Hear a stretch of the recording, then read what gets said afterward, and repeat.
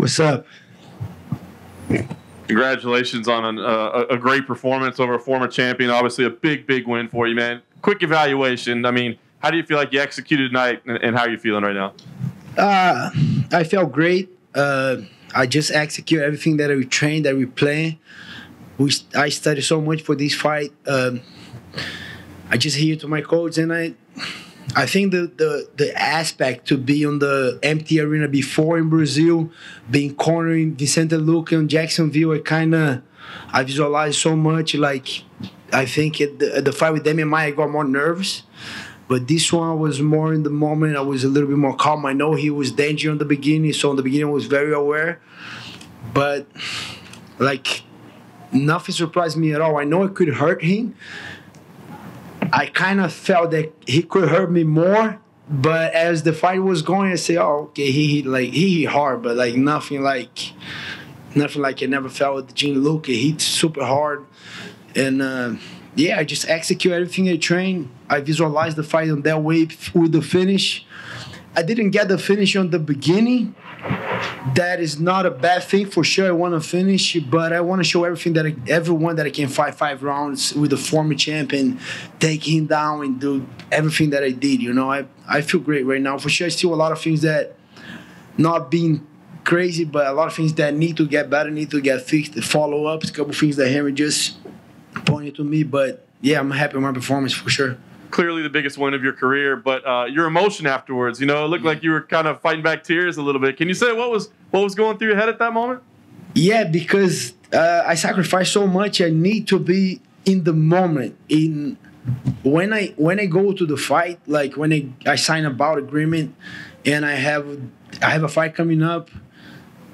I make I make uh, if I translate that, it's gonna be like uh, a stairs of the ghost or like stairs off the ghost. A lot of things that I need to do to win the fight. And the hardest thing to me is to be honest with myself and do everything that I plan to do. And I plan a lot of things. Oh, I gotta stretch every day. I gotta do this session. I gotta do that session. I gotta do this drill. I gotta do that drill. I gotta study. And I do so much on that, and it's hard to do every every little thing. But I try to be honest with myself and do everything that I need to be on a on a crazy zone and uh, when I step in the octagon, I feel if I do everything that I said I supposed to do and I do it, I get there very comfortable and I get in the zone. So I got in the zone, but it's a lot of emotional to like, wow, I did everything I did. Okay, I'm happy. Now we're gonna perform and I execute, and just like, wow. It's just like okay, he, he, worked, you know, like he paid off. It was it's not easy. People don't realize like I got my two kids, I got my wife, but when I got to a camp, I need to you know, I need to go out a little bit. I need to be with myself. I need to study the fights. I need to, and I'm kind of nerdy on that. Doesn't look like, but I study a lot, I break down the things, and I make my notes. And, uh, and there's a lot of work, and people don't realize that. But I think it's been showing off my performance. And after the fight, I always like, wow, it's kind of like a release. You know, okay, I execute. Let's go, and then and then emotions come a little bit. Can you point to what the key is to your success? Because you've always had talent but there was a time when your your spot on the roster was at risk, right? I mean, there was talk of them releasing yeah. you, yeah. and now you're about you know maybe having a number one contender fight in the very near future, maybe a title fight. What's what's the key to go from there to, to here? It's a lot of things. It's not it's not only one thing, but I remember that spot. Like I remember I supposed to fight Paul Felder, and I, I had the surgery on my elbow. I didn't fight Felder, and uh, that was the last fight on my contract and they give me Jason Saggo, and I know I had to win that fight.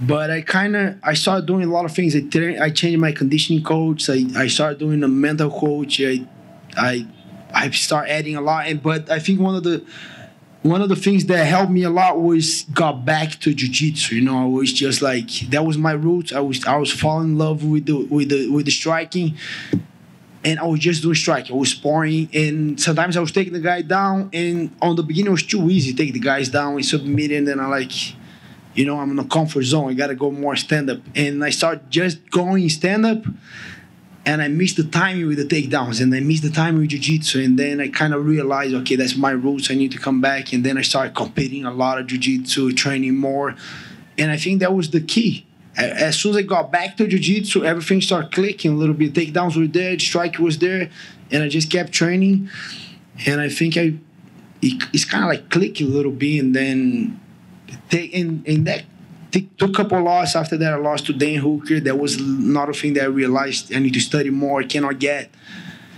I was get too pumped up to the fight. I, I rocked the guy a little bit. I was going forward crazy. I want to finish the fight, and then after that fight, I learned that. But I think it's just it's just a process. And after I stopped with the crazy weight cut, I started performing a lot better too. That that was the the key. I think one of the keys. It's a lot of things, not one thing that I can point, but we we stopped with that craziness, yeah, I felt a lot better. Nice.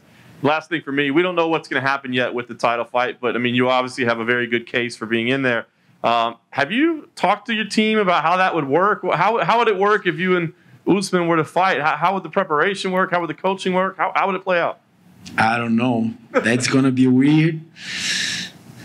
I don't know, but we're both we're both professionals. I like the guy a lot. I'm not just being the no. I like the guy. He motivated me a lot when he became a champion. I saw him zero. He he, he didn't have his pro debut when I met him, and we always like to work together because I have the jiu-jitsu. He had the, the wrestling. We grapple a lot crazy since the beginning yeah, I don't know. It would be weird, but I want to fight for the title. No, I want to be the champion, and uh, he's the champion. That's the only reason I'll, I'll, call for this fight. Otherwise, it not make no sense. But yeah, I want to fight for the title next. I know it might be Masvidal and all that craziness, but I'm. I just told Dana on the backstage, hey, I'm available for July. You know, if, if those guys keep going crazy, I want to fight for the title. If not, if if you book another fight for the title, give me who is available. If it's not Colby, give me Leon Edwards. Give me my. I I, I just want to stay busy. Gilbert right here. Uh, before your fight at the media day, you said that Kamaru was giving you a lot of good insights before uh, your fight with Tyron. So after spending 25 minutes with Tyron, did anything surprise you in there? Not really. He's normal. He's just a human being like me, like you. He's just.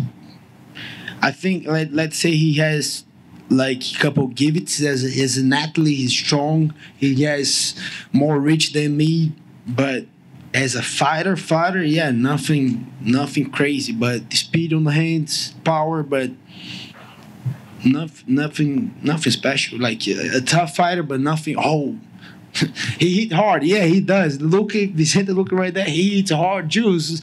And we sparring before his fight, before my fight, that guy hit super hard. And then I gotta be like, we spar before my fight, we spar before his fight.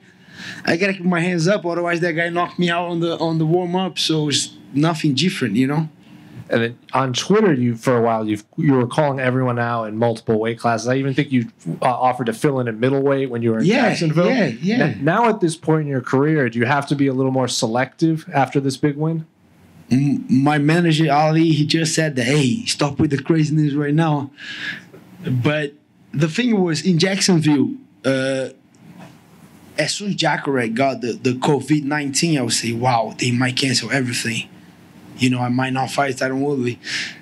I might fight this guy tomorrow. I better I better get that fight anyways. They wait and everything get canceled. And I call Sean. He said, "You crazy? You're gonna fight Woodley?" And then I say, "I'm just, you know, the fight's still up. Yes, the fight's going. Okay, okay, no problem. You know." but he got crazy. He said, "No, I think it be. I need to be a little bit more selective right now for sure."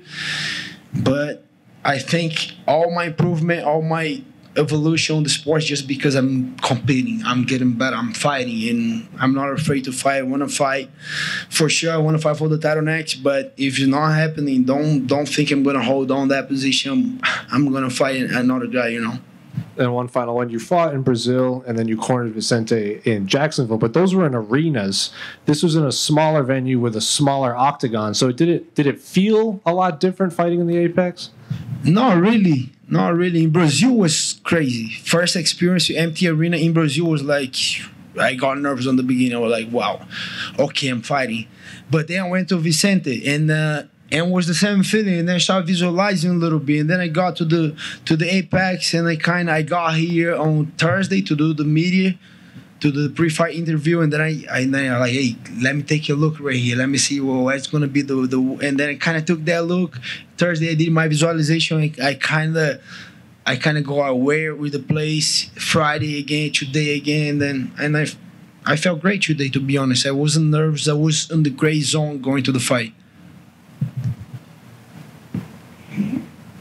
It sounds like you have a process that you go through to get your mind in the in fight in fight ready. Was this any different as you went through your process right there? No, no, same process, a lot of work.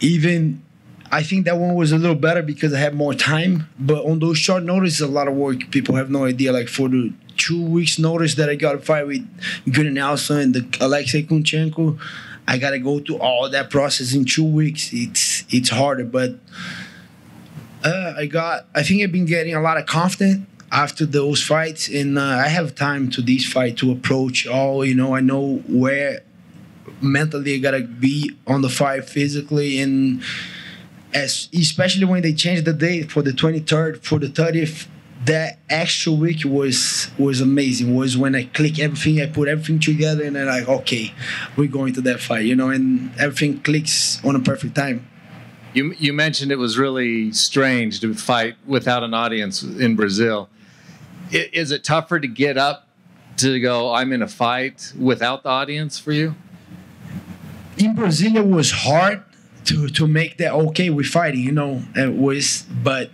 like i said going to the vicentes luque fight i get a little more aware of that and facing Tyron Woodley, he's dangerous in the beginning. I cannot. I, I I had to do these adjust like or being nervous on the beginning, be aware in the beginning because Demian wasn't that that threat for me on the beginning because he's more as a grappler. I'm a grappler too, and um, I could I could get a little nervous and a little like get things up as the fight was going. But Woodley's danger, you know, I gotta be aware since the fight started, and I think I realized that, and I adjust that and and I execute. Thanks. You're welcome.